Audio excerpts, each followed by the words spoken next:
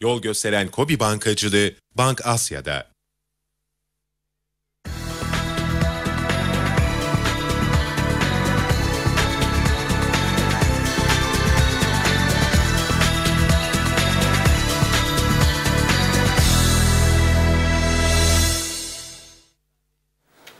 Mutlu sabahlar değerli izleyenler. Paranın rotasına hoş geldiniz. Yeni günde ekonomi gündeminde öne çıkan başlıklara bakacağız. Doktor Yaşar Erdinç'le birlikte her sabah olduğu gibi. Hocam günaydın.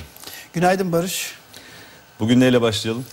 Bugün neyle başlayalım? Bugün istersen şeyle başlayalım. Ee, normal işte dün e, açıklanan bazı ufak tefek veriler var. Kapasite Ee, kullanım oranları kullanım var. oranı. Türkiye büyüyecek mi, büyümeyecek mi? Onunla ilişkili veri Farklı bir şey söylüyor mu hocam? Şimdi Türkiye'nin büyü, büyümeyeceğine ilişkin zaten pek çok görüş var. Aslında hani beklentiler de biraz aşağı çekildi. Ee, Evet.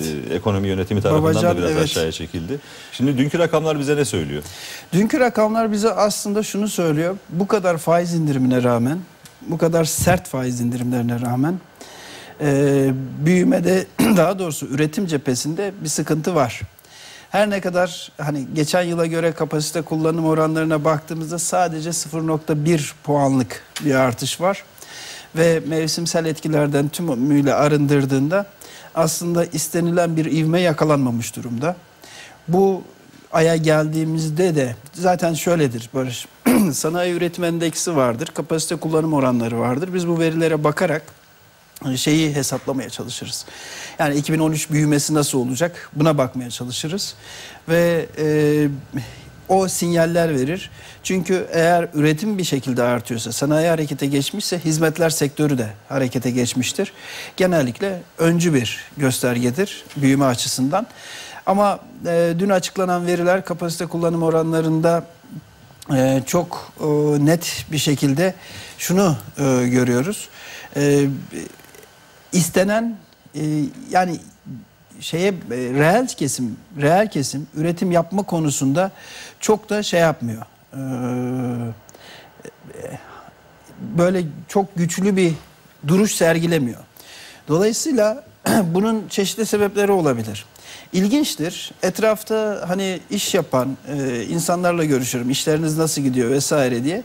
Evet ufak tefek biraz kıpırdanma var ama istediğimiz boyutta değil şeklinde e, alıyordum cevapları. Ve bu kapasite kullanım oranları da benzer şekilde bir e, sinyal veriyor. Şu an hala biz 2008 öncesi kapasite kullanım e, oranlarına gelememiş durumdayız. Yani 2008 öncesinde, kriz öncesinde 80'in üzerindeydi kapasite kullanım oranları. 80-82 zaten bir nevi biz reel sektör için şöyle söyleriz. 80'in üzerine çıktığı zaman adeta full kapasiteyle çalışıyormuş gibi değerlendirilir. Hiçbir zaman kapasite kullanım oranı %100'e gelmez. 74.8 seviyesinde şu an. Mart'tan beri yani bu ayın ilk e, Ocak ayından bu yana e, şey var Barış. E, e, toparlanma var. Kapasite kullanım oranlarında da bir miktar var. Hadi ilk 3 ayda şey dedik. 2012 çok kötü geçti üretici açısından. Dolayısıyla 2012'deki üretim fazlaları yani stoklar arttı. Dolayısıyla yılın ilk 2-3 ayında bunların e, satışını görüyoruz. Bundan sonra tekrar toparlanır, düzelir derken e, çok artmadığını görüyoruz ve bunun en önemli sebebi tamamıyla Avrupa kaynaklı ve Avrupa'nın büyümemesi, Avrupa'nın altı çeyrektir küçülüyor olması özellikle bizim Avrupa'ya ihracat yapan firmalarımızı gerçekten zorluyor şu aşamada. Ee, e, çok ılımlı, çok ılımlı bir büyüme e, işaret ediyor. Yani yüzde dörtlerden çok uzağız. Yani Evet. hükümetin hedefi bu yıl 2013 yılı için yüzde dört ve bu yüzde dört seviyesi e, ne bu halde gidersek ulaşmamız çok zor. Ama şeyi bilemeyiz. Özellikle bundan sonraki süreçte e, bu nasıl gelişir onu bilemeyiz. Ama gelişmesinin artık ben şeye bağlı olacağını düşünüyorum. Özellikle Avrupa'daki ivmenin artmasına bağlı olacağını düşünüyorum. Yani Avrupa'da büyüme varsa. Hocam şeyi soracağım. Şimdi e, tabii hedef %4 büyümedi ama dün mesela e, Merkez Bankası Başkanı Erdem Başçı Bakanlar Kurulu'nda Evet. e, bir sunum yaptı. Ona ilişkin bilgi notu da Merkez Bankası'nın internet sitesinde yer aldı. Evet. 2003 yılının %5 hedefine yakın bir düzeyde tamamlayacağız enflasyonda. Evet. %5'lik enflasyon hedefini gerçekçi buluyor musunuz ve %5 e, enflasyon hedefiyle %4 büyüme hedefi paralel midir? Aslında e, Barış yıla girerken hani yüzde dört büyüme hedefi varsa biz enflasyonun e, minimum 6,5 Değil mi? olacağını. Ben de hani evet. e, yüzde beşi sanki e, büyüme anlamında da beklentiler daha da aşağı çekildi diye anladım. Evet e, şöyle bir tanesi yanlış çıkar. Yani eğer büyüme yüzde dört olursa enflasyon e, tutmaz bana göre. Eğer enflasyon tutarsa da büyüme yüzde ikide kalır. iki iki buçukta kalır. Hala ben büyüme açısından çok umutsuz değilim. Yani e, bu faiz indirimlerinin etkisini yani sabahtan akşama görmek tabii ki çok zor. Genellikle faizdeki hareketler, alınan para politikası kararları daha çok e, şey yapıyor. 6 ay, 9 ay gecikmeyle de etkileyebiliyor. Bu anlamda 2013'ün e, dediğin gibi az önce söylediğin üzere e, eğer büyümesi yüzde 4 olursa enflasyonda da ivme görmemiz lazım. Şu an için ama enflasyonist bekleyişler bayağı ciddi bir şekilde azalmış durumda. Ve öte yandan e, şey de var e, bu arada. E, reel kesim güven endeksi de var. Reel kesim güven endeksi de e, yayınlandı. Ve reel kesim güven endeksine baktığımızda e, orada da e, e, reel kesimde bir miktar hani sanayi üretimi ve kapasite kullanım oranları beklendiği gibi gitmiyor ama reel kesim güven endeksinde bir artış var. Yani iş dünyası e, geçtiğimiz 2-3 ay kadar kötü bakmıyor geleceğe ve e, bir miktar daha iyi olacağını düşünüyor. Bunun anlamı iş adamları yani bizi izleyen şu an iş dünyasındaki e, küçük orta ölçekli veya büyük işletmeler açısından şöyle diyebiliriz. E, evet her ne kadar şu ana kadar olumlu gitmemiş olsa da e, reel kesim bunun olumluya döneceğine dair ciddi bir beklenti içerisinde. Ve bu beklenti ne kadar karşılanabilirin de e, temelinde Avrupa Birliği bence olacak. Çünkü Asya tarafında da sıkıntı var üretim ve büyüme açısından. Ee, tabii ki bunun da e, temel sebebi Amerika'nın e, bir türlü toparlanmaya geçememesi. Yani bu Perşembe günü Amerika'da büyüme verisi açıklanacak. Hani orada yüzde iki buçuk minimum hani üç, üç buçuk civarında olması bekleniyordu yıla girerken. Fakat orada da e, bir e, şey var, e, ağır aksak bir yürüyüş var. Sonuç olarak e, bizde tabii çok daha az etkiliyor barış şeyi. E, yani bizim ekonomimizi etkileme gücü, büyümenin azalması daha hafif etkiliyor. Hani borcumuzun düşük ol, e, düşük olması nedeniyle, aynı zamanda yurt dışı borç, e, kamu borcu açısından çok rahat olmamız nedeniyle e, aslında istediği anda hükümet çok rahatlıkla büyümeye ivme kazandırabilir. Yani kamu harcamaları cephesinde e, yapacağı atacağı adımlarla ki bu arada biliyorsun çok fazla şey var. Ee, hani kamunun önderlik ettiği birçok proje var ve bu projelerin de büyümeyi hızlandırması beklenir. Bakalım onu göreceğiz. 2014'te bir de şimdi 3 sandık meselesi var hocam. 3 seçim. Evet. Şimdi bir de o aklıma geldi siz bunu anlatırken. Aynen öyle, evet. e, şimdi bir taraftan acaba diyorum Merkez Bankası Başkanı %5 derken yine önümüzdeki günlerde gaz fren tartışmaları yaşanır mı? Şimdi Yok, yaşanmaz. çünkü hani büyüme en az %4 olsun isteniyor. E, Evet. Diğer taraftan bu durumda enflasyon sizin de söylediğiniz gibi %6,5'larda olacak. Yaşanmaz mı diyorsunuz? Yeni Yok şöyle yaşanmaz. Burada artık Merkez Bankası özellikle son 3 toplantıda çok radikal bir değişikliğe adım attı. Yani ben çok iyi hatırlıyorum. 2013'ün para politikası ve döviz kuru politikası raporunu açıklarken Erdem Başçı aynen şu cümleleri kullandı. Geçmiş dönemlerde biz rezerv opsiyon katsayılarını yükselterek işte piyasadan dövizi çektik. Bu Merkez Bankası rezervlerini arttırdı. Ama 2013'te ki Merkez Bankası Başkanı dövizde yukarı hareket bekliyordu. O gerçekleşmedi. Bunun tersi olabilir. Bir, bir yandan döviz rezervlerimiz azalmaya başlarken diğer taraftan eee, e, e, ekonominin diğer parametrelerinde e, daha olumlu gelişmeler görürüz ama Merkez Bankası bunu kontrol edecektir demişti ama yıla girdikten sonra rezerv opsiyon katsayıları gene arttırılmak zorunda kaldı ve faizler çok agresif biçimde düşürüldü. Dolayısıyla büyümeden ödün verecek hiçbir politika bence artık konuşulamaz bile. Yani Merkez Bankası bile artık yani daha önce kesinlikle bunu bu sınırdır kredilerdeki büyümeyi ciddi biçimde izliyoruz derken daha sonra söylem değişikliği oldu ve bu bir referans noktasıdır. Dolayısıyla bu referans noktasını biz izlemeye devam edeceğiz. Bir zorunluluk değildir şeklinde çevrildi. Bunda bence ciddi politik etki olduğunu düşünüyorum. Yani bu açıklamalarda. Evet. Şimdi ha buyur. Diyor ben başka bir konuya geçecektim eğer bitirdin. Bu arada ben çok ilginç bir grafik var. Wall Street Journal'da yayınlanmış. Şu anki dünyanın durumunu bu kadar güzel ortaya koyan e, başka bir grafik daha yok. Şimdi eğer arkadaşlarımız verebilirse bu grafiği. e, şimdi şöyle Barış. Bu kırmızı bölge tamamıyla e, ülkeleri gösteriyor. Avrupa burası.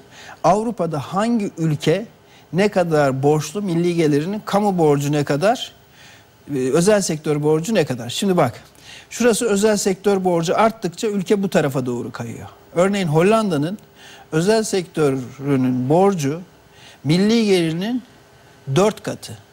Yani milli gelirinin dört katı bir özel sektör borcu var.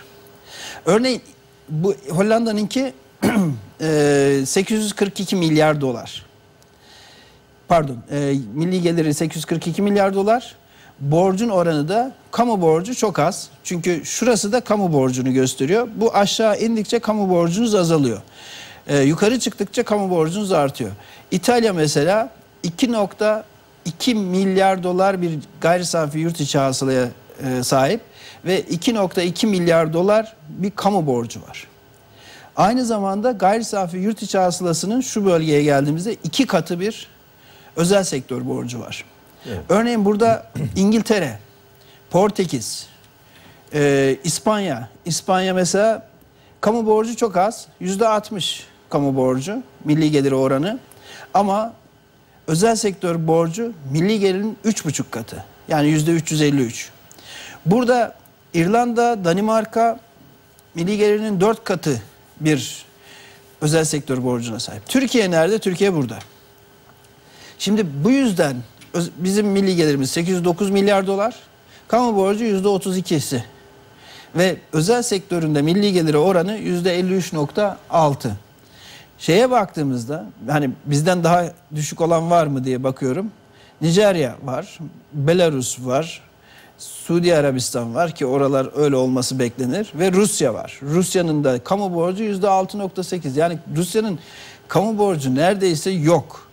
Özel sektör borcu da milli gelirinin sadece %54'ü. Macaristan, Polonya, Güney Afrika, Ukrayna, İsrail, Mısır e, yani bu bölge e, en güvenilir, en güvenli bölge.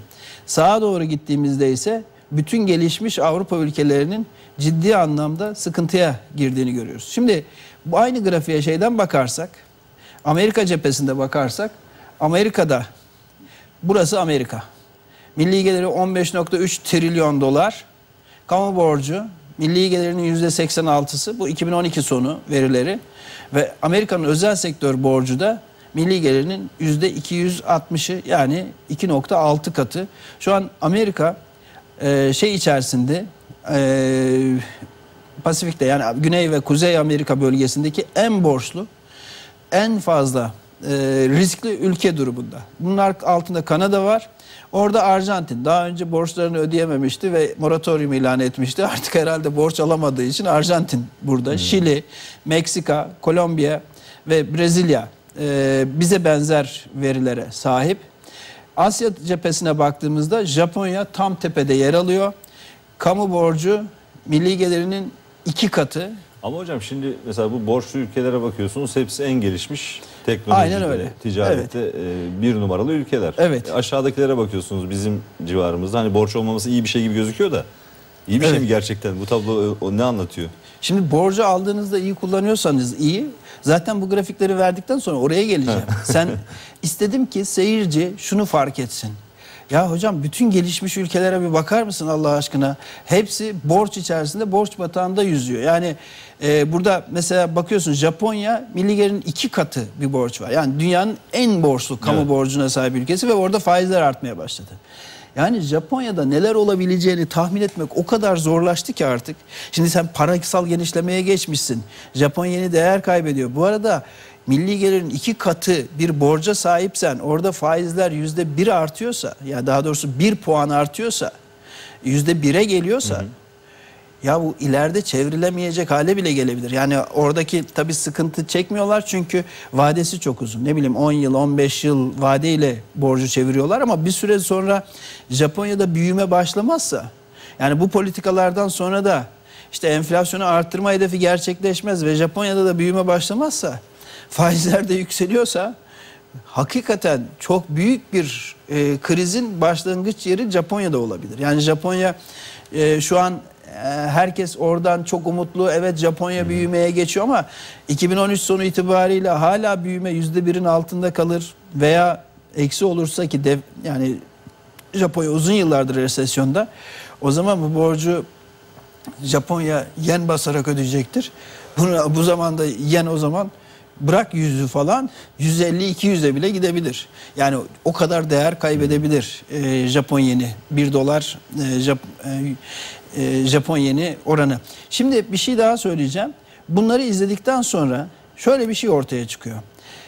Asya 1997'de kriz geçiren Asya cephesine baktığımızda Asya cephesinde de özellikle Tayland, Filipinler, işte Hindistan, Endonezya iyi grupta. Çin e, en alt kesimde yani e, kamu borcu neredeyse yok gibi Çin'in. Onu o %19'u kadar, %20'si kadar kamu borcu var gelir milli gelirinin. Ama özel sektör borcu %163. Hı hı. Şimdi burada Kore dış borcu en yüksek ülke. Şimdi senin soruna geleyim. Hocam yani o zaman biz de borcumuzu arttıralım değil mi? Yani bütün gelişmiş Görünen ülkelerin gelişmiş ülkelerin hepsi aşırı borçlu. Borç yiğidin kamçısı gözüken o. Borç yiğidin kamçısı ama bir türlü bu kamçı bunları harekete geçiremiyor. Yani sorun ne biliyor musun?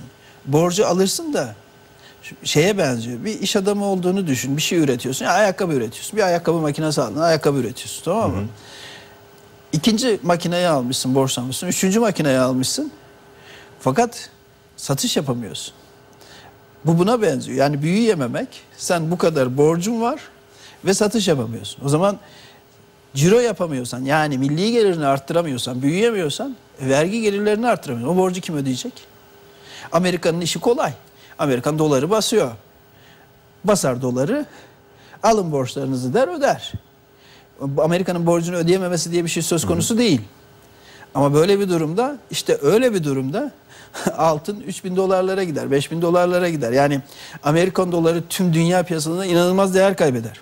Fakat şeye bakıyoruz bütün gelişmiş ülkeler borç batağının içerisine tabiri e, caizse tam anlamıyla boğazlarına kadar batmış durumdalar. Bu yüzden gelecek bir iki yıldaki büyüme bu yüzden çok büyük önem taşıyor. Biz küresel büyüme, küresel büyüme diyoruz ya.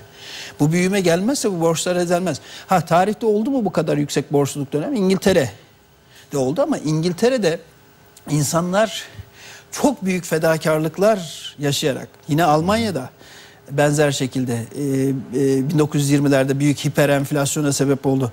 Benzer borçluluk dönemlerini Birinci Dünya Savaşı sonrasında Almanya'da inanılmaz halk sadece patates yiyerek Almanya'yı yeniden kurdu e, bilmem ne yaptı ama şu an hem hiç acı çekmeyelim hem hiç sıkıntı yaşamayalım hem de bu borçlar ödensin. Ödenmez. Dünyada bir de üretim tamamıyla Çin'e kaymış durumda. Yani Avrupa ürettiğini satıyor ama tamam kalitesi de iyi. Çin 3 yıl sonra 5 yıl sonra Avrupa'nın üretim kalitesini yakaladığı zaman çok ciddi sorun olacak dünyada. Yani o kadar Avrupa'daki o insanlar yani Avrupa Birliği'nin e, şu görüntü şey diyor yani. Üretim Çin'e Asya'ya kayıyor. Hı hı. E, Avrupa'da o zaman hizmet üretimi yapması lazım. İngiltere gibi sadece hizmetler sektörünün gelişmesi lazım. O onları besler mi? Bundan ben emin değilim. Dolayısıyla bu resim dünyayı çok ciddi türbülansların beklediğini gösteriyor. Yani bu ülkeleri şu an ayakta tutuyorlar. Nasıl tutuyorlar? Merkez bankaları diyor ki İspanya borcunu ödeyemezse ben tahvillerini alırım diyor. O zaman herkes ben gidiyor İspanya. hocam. Şimdi bu ülkeler borçlu tamam da kim kime borçlu? Parayı kim kime ödeyecek? Zaten eko, dünya ekonomisini bunlar yönetmiyor mu? Yani bu borçlar bir şekilde bana halledilir gibi geliyor. Bir bunu bu yoruma ne diyeceksiniz bilmiyorum ama evet. bir reklam aramız var. Tamam. E, reklamdan sonra evet. devam edeceğiz. Yol gösteren Kobi Bankacılığı Bank Asya'da. Bankacılığı Bank Asya'da. Paranın rotası devam ediyor hocam. Ee, en son benim yaptığım bir yorum üzerinden e, evet. gideceğiz. Şimdi hakikaten merak ediyorum. Dediğiniz gibi hani bu ülkeler borçlu. Fakat bakıyorsunuz dünya ekonomisini bu ülkeler yönetiyor. Evet. İşte siz dediğiniz G20 gibi işte e, o topluluklarda oturuyorlar masanın başında. Bir takım kararlar veriyorlar ve bu kararlar dünya ekonomisine de yön veriyor. Şimdi bu adamlar birbirine borçlu olsa ne olur, olmasa ne olur? Öyle değil mi? Hani yar, yarın öbür gün kendi aralarında bu meseleyi çözerler. Olan bizim gibi ülkeler olur diye düşünüyorum. Evet. Şöyle örneğin İtalya'yı ele alalım. Kamu borcu var. Milli gelirinin yüzde 160'ı kadar bir kamu borcu var. Milli gelirin yaklaşık iki katı, iki buçuk katı da bir özel sektör borcu var. Özel sektördeki firmalar, İtalya'daki firmalar gitmiş Japonya'dan kredi almış, Almanya'dan bankalardan kredi almış, kendi bankalarından kredi almış ama bunlar tabii ki bu borçların tamamı hani dış borç e, değil aynı zamanda Tabii. veya İtalyan tahvillerini yurt dışına satmışlar. Şeye bakalım. Yunanistan'a bakalım. Yunanistan borcunu ödeyemediğinde 130 milyar euroluk borç silindiğinde kimi ikna etmek zorunda kaldılar? Yunan tahvillerini kim elinde bulunduruyorsa onlar yani kredi verenler tahvil e, bonosunu almış olan işte bankalar olabilir, fonlar olabilir, bireyler olabilir. E, bunlar olabilir. Şimdi şöyle bir durum yok. Hani bir ülkenin başbakanı ya da bir ülkenin başkanı, Amerikan başkanı ya işte sizin de o kadar borç var, bizim de o kadar borç var. Gelin bunu silelim. Böyle bir şey yok.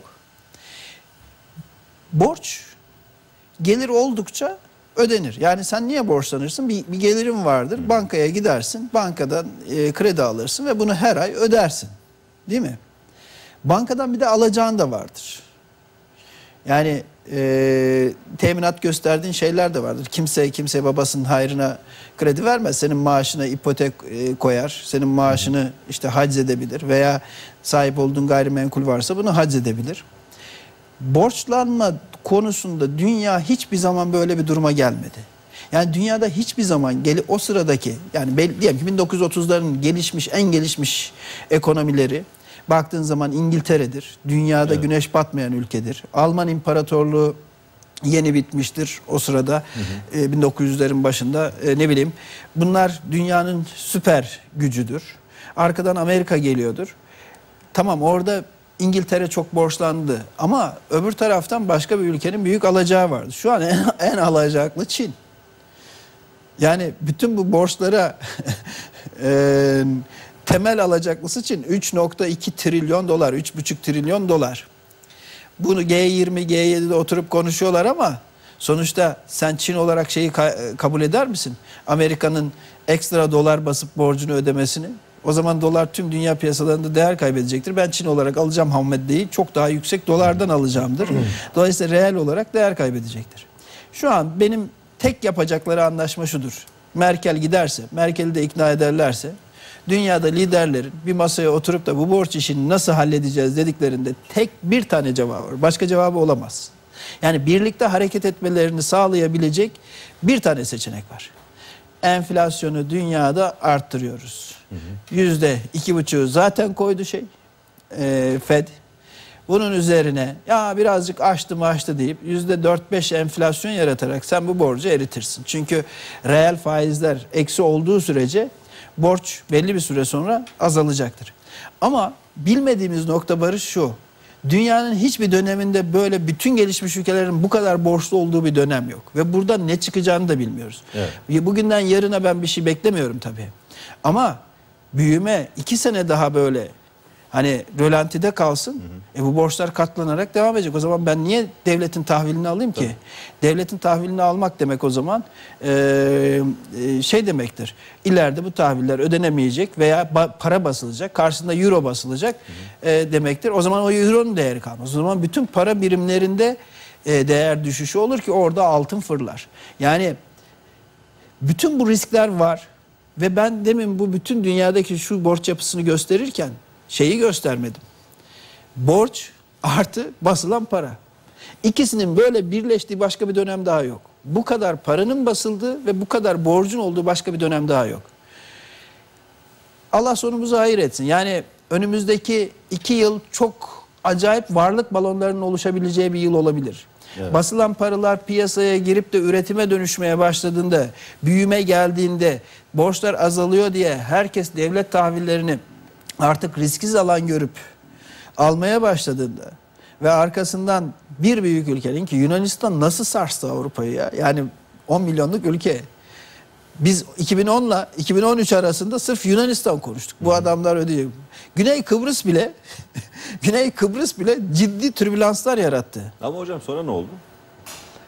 Tamam ama e, sonra ne Konuştuk oldu? biz sadece. Evet tamam konuştuk ama hayır bak şimdi oraya bir gidip görürsen yani Yunanistan'ı veya işte Güney Kıbrıs'ı, Portekiz'i şu an e, İspanya'yı vesaire yüzde 27, 20, 28 genç işsizlik var. Bu ne kadar devam edebilir ki? Bu adamlar belli bir süre sonra açlıktan saldırmaya başlayacaklar. Yani sorun çok büyük Barış. Ve bu masada oturularak çözülecek bir sorun değil. Nasıl çözülecek biliyor musun? Reel olarak üretimin artması gerekiyor. Gerçek anlamda. Ve bugünkü neoklasik iktisadın önerdiği sistemde şu. Üretimin artması için harcama yapılması lazım. Harcama yapılması için bu vatandaşın reel gelirinin artması Para lazım. vermen lazım. Reel gelirini arttıramıyorsan ki arttıramazsın. Çünkü reel gelirini arttırayım dersen enflasyon yaratacaksın dünyada. O zaman biz buna borç verelim. Basalım parayı bankalara verelim. Millet oradan borç alıp harcamaya başladıkça üretim artsın, büyüme gelsin. Ben de vergi toplayayım. Bu sistem çökmüştür. Bu sistem artık bitmiştir. Bundan sonra aynı yolla dünyada şeyi arttırmaya çalışıyorlar. Yani üretimi arttırmaya vesaire çalışıyorlar kesinlikle başka bir sisteme doğru gidilecek. Yani bu bu haliyle dünya bu şekilde bu sistem bu şekilde yaşayamaz. Yani kalamaz. Bambaşka bir sisteme doğru gidilecek. Yeni bir para birimi için ne diyorsunuz hocam? Yeni para birimini bekliyorum ben. Yani ama bir yıl sonra bir para birimi bekliyor değilim. Ama önümüzdeki bir 5-10 yıl içerisinde belki 15 yıl içerisinde para biriminde mutlaka bir değişiklik olacak. Yani dolar tek başına tahtı tahta kalmayacak ve e, gerçekten e, doların e, tahtı sallandı. Şu an dolar tekrar dünya piyasalarında değer kazanıyor. O da işte büyüme gelir diye. Ama bes, asıl tehlikenin ben şeyde görüyorum zaten. Büyümenin gelip coşkunun artmasıyla birlikte çok büyük varlık balonları oluşacak. Yani o balonlar da aynı mortgage gibi daha sonra patlayabilir. Bu belki 3 3 yılın 5 yılın hikayesini anlatıyorum Evet. ama e, bugün dikkat çekmek istediğim nokta dünyanın ülkelerinin ne kadar borçlu olduğudur. Böyle olan bir yerde mutlaka e, hani devlet tahvilleri falan filan Türk devlet tahvillerini bir kenara bırakıyorum. Çünkü bizim borçluluğumuz oldukça az. Özel sektör borcu da milli gelirin sadece %50'si 52'si dünyanın en düşük ülkelerinden bir tanesiyiz. Ama diğer ülkelerde sorun çok büyük. Soru ve yorumlarla devam edelim hocam hemen. Evet. Ee, şimdi borsa ile ilgili bir soru var. Ali Ulusoy diyor ki gayrimenkul hisselerinin yükselmesinin konusunda umutsuz olduğunuzu biliyorum. Yalnız not artırımı ile birlikte yurda giren bu kadar para gayrimenkule hiç gitmeyecek mi? Ya gayrimenkule tabii ki gidiyor şu anda da. Yani gayrimenkule gidiyor ama nasıl gidiyor? Şöyle gidiyor Barış. Ee, gidiyor, geliyor Orta Doğu'dan insanlar. İran'dan geliyorlar. Ben inşaatçılarla konuştuğum zaman onu duyuyorum. Geliyorlar bir yeri kapatıyorlar gidiyorlar. Bunun borsayı etkilemesine imkan yok. Bu ancak oradaki fiyatları arttırabilir. Fakat fiyatlar arttıkça da gayrimenkul yatırım ortaklıkları projelerinde sıkıntıya girmeye başlıyor. Her gayrimenkul yatırım ortaklığının bir AVM projesi var. E gidiyorsun AVM'lere sinek avlıyorlar. Yani isim vermeyeyim. Yani şu Büyükdere Caddesi üzerinde başla AVM'lerini git hepsine bak. Birçok dükkanın boşaldığını görüyorsun. Çünkü artık yeni siteler kendi AVM'lerini sitenin içinde yapıyor. Yani atıyorum 2000 kişi 5000 kişinin yaşadığı yere koca bir AVM'yi de oraya da konduruyor. Bu anlamda sıkıntı şu. Geleceğe ilişkin gayrimenkul yatırım ortaklıklarının kar marjları daraldı. Herkes bu piyasaya girdi. Yani oradan artık ciddi büyük karlar etmek oldukça zor. Burada e, ancak e, e, hani e, belli e, firmalar öne çıkabilir. O da zaten ayrıcalıklı olanlar. Hocam e, borsaya da bakalım mı bu arada hazır hisselerden Evet. bahsetmişken BIST 100 nasıl başlıyor güne? BIST 100 bugün e, yüksek açılışla başlıyor. E, çünkü Amerika genel olarak a, olumlu ve e, şu anda da disket ilk emirler gelmiş durumda. 91 binden başlayacak ki dün 90.500'deydi. 500 puan yukarıdan başlıyor. Grafiği verebilirsek Evet. ekrana 500 evet şu an tam şu seviyeden başlıyor. Dün bir direnç oluşmuştu bu 91 binde ve 91 bini kıramadı. Dün açıldı, açıldığı andan itibaren 91 binin altına geldi endeks ve aşağıda sıkıntıya girdi. Bu bölgede düşük de işlem hacmi vardı ve bugün bir miktar yukarıdan başlıyor. Dış piyasalarda olumlu olduğu için tahmin ediyorum bugün şöyle 92 bine doğru en az bir e, 1000 puanlık bir artış göreceğiz. Yani 1000-1500 puan civarında borsada bir artış göreceğiz. Önemli olan 92 bine gelmesi, 92.200'e gelmesi değil ama bunun üzerine yani 92.500'ün üzerinde bir kapanış yaptıktan yapmasıdır. Eğer yaparsa daha önceki kapanışı yaptığında ciddiye almamıştım çünkü çok güçlü bir hacim yoktu. Şu an yabancı takası da pek düşmüyor. Yani yabancı takasına bakacak olursak dün bir miktar geri çekilme var. Ee, yabancı takasında Ee, şu e, bölgede e, dün bir miktar e, satış yemişti borsa. Dış piyasalar aslında çok da olumsuz değildi ama e, bizim piyasada e, negatif bir eğilim vardı. Bugün yukarı gidecektir ama benim her zaman söylediğim gibi şu kanal içerisinde al sat yapmaya kalkışmak çok tehlikeli. Yani burada e, özellikle siz 80 yani 89 bin ile e, 92.500 aralığında şu yukarıdaki 93.000'i saymıyorum. 92.500 aralığında bu kanal içerisinde yukarı gidiyor diye alım yapmak sonra aşağı düşüyor diye satım yapmak ciddi zararlar getirir. Çünkü bu kanal içerisinde gidiyoruz ve ben bu kanal içerisinde gideceğimizi düşünüyorum. Yani 92.500'ün üzerinde çok fazla bir hareket beklemiyorum. Şu anda da borsa açıldı. işlemler başladı. Onu bir dakikalık grafiklerde verelim. Tam 91.200 seviyesinde açıldı. Büyük bir ihtimalle 90.900'e kadar gerileme olacaktır. Biraz sonra 91.000'in altına. Buralarda yatay gitmeye başlayacaktır. Evet. Güçlü hacim gelirse öyle bir durumda e, o güçlü hacimle birlikte yükseliş olursa anlamlı olur. Ama şu an ben hala borsada bir miktar izlemede kalmak lazım. diyorum. Hocam son 3 dakika e, Turgut Polat Euro Japon yeni dolar Japon yeni kısa vade teknik grafik yorumunuzu rica ediyor. Şimdi eee, şöyle Japon yeninde tabii işlem yapıyorlar. Ve Japon yeni çok volatil olmaya başladı. Forex piyasalarında Japon yeninde işlem yapan eee, izleyicilerimize ben çok dikkatli olmalarını ve stopları çok iyi çalıştırmalarını öneriyorum. Eee, Euro Japon yeni grafiğinde görüldüğü üzere en yüksek e, 1.33 50 seviyeleri görüldü.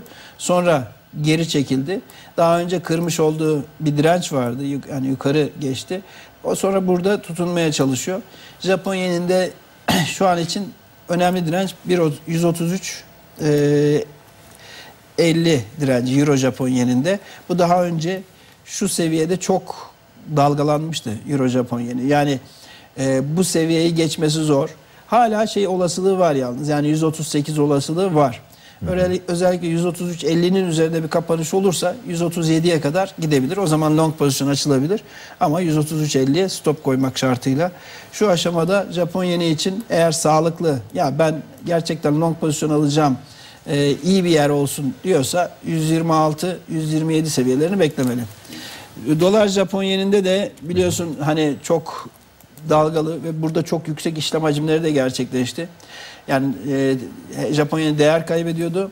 Sonra değer kazanmaya başladı. Bugün itibariyle Japon borsasında da yükseliş vardı. Japon yeni yeniden değer kaybetmeye başladı ve 103.60 seviyesi 164 seviyesinde bir direnç oluşmuş durumda.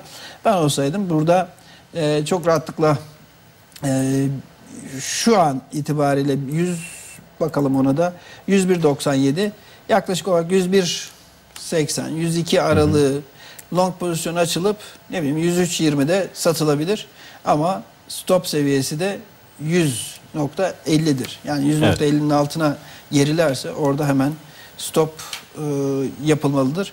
Genel olarak böyle görüyorum kısa vadede ama orta ve uzun vadede dolar Japon yeni çok yükseldi. Bak buradaki grafikte görüldüğü üzere E, bir miktar burada bir bekleme ve Kurudo'nun Japonya'daki e, ekonomi yönetiminin bir şeyi yapılacaktır. Yani beklenecektir. Kredi verildi ona. Onlara bu yükseliş onu gösteriyor. Acaba bakalım enflasyonu arttırabiliyorlar mı? Büyümeyi harekete geçirebiliyorlar mı diye bir süre bence Japon yeni bir miktar beklemeye geçip değer kazanabilir. Hocam son 30 saniyemiz bir soru var onu da sorayım son olarak. Borsa 100 bin olunca bir tane sıfır atıp borsa 10 bin olacak ve 2000, 2000 puan düşecekmiş. Ne dersiniz? O, valla e, ya bana tabii anlamsız geliyor. Yani 100 bin, 1 milyon olsa ne olur ki? Şimdi yani? çok konuşuluyor bu 100 bin meselesi. Evet, 100 bin olunca olunca bir sıfır şöyle atılır? olacak böyle olacak. Bir sürü efsane dolaşıyor şimdi. Bu da onlardan Evet. biri galiba. Yani yüzde yirmi düşüşten bahsediliyor o zaman. Yani 10 binden 2000 puan düşmesi demek yani 100 binden 80 bine yüzde 20 düşüş demektir. Yani yüzde 20 normal şartlarda en fazla yüzde 10 ile 15 arası bir düşüş beklenir bugünkü koşullarda. Ona e, Şu anda bir yorum yapmak herhalde Hani- çok anlamlı ha- olmaz. Tabii yani çok anlamsız olur. Yani ben şu an Evet. tabii Peki çok hocam. fazla bir şey diyemem. e, süremizi doldurduk. Çok teşekkür ediyorum. Ben Yarın teşekkür sabah yine beraberiz. İzleyicilerimize de teşekkür ediyoruz. Katkılarından ötürü e, paranın rotasını noktalıyoruz. Biz şimdi bir ara vereceğiz. Aradan sonra yayınımıza bugünün gündemiyle devam edeceğiz.